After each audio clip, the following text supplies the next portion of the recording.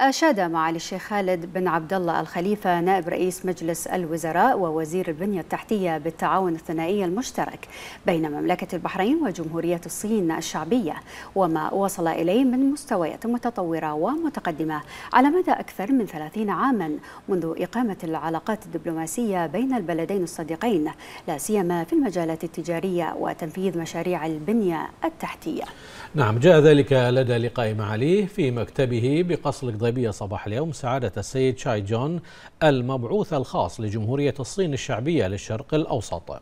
وخلال اللقاء رحب معاليه بسعادة المبعوث الخاص لجمهورية الصين الشعبية للشرق الأوسط متمنيا له طيب الإقامة في مملكة البحرين وتحقيق الفائدة المرجوة من مشاركته ممثلا لبلاده. في أعمال مؤتمر حوار المنامة والرامي إلى تبادل وجهات النظر بين المشاركين رفيعي المستوى إزاء التحديات الأمنية والاستراتيجية والاقتصادية الملحة على المستوى الدولي.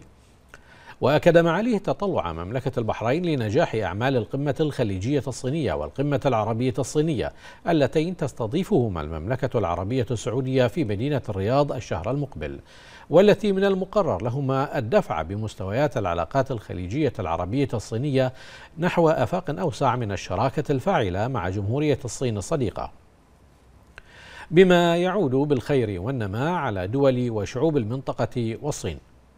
من جانبه أعرب المبعوث الخاص لجمهورية الصين الشعبية للشرق الأوسط عن شكره وتقديره لمملكة البحرين لاستضافتها أعمال مؤتمر حوار المنامة والذي من المؤمل أن يلخص أن يخلص إلى نتائج وتوصيات قيمة من شأنها أن تسهم في تحقيق المصالح المشتركة للجميع.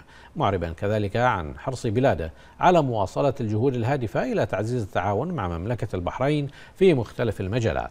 بما يحقق تطلعات البلدين والشعبين الصديقين.